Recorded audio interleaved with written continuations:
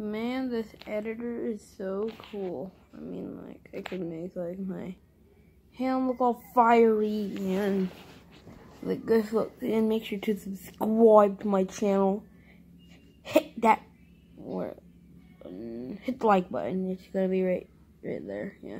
And now, um, yeah, that's pretty much it, so. This is gonna be a test video for my new editor, why is there her on the window?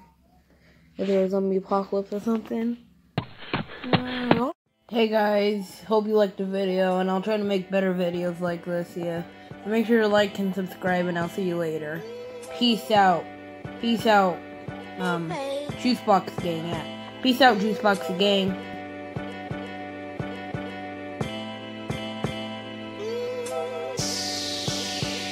soul to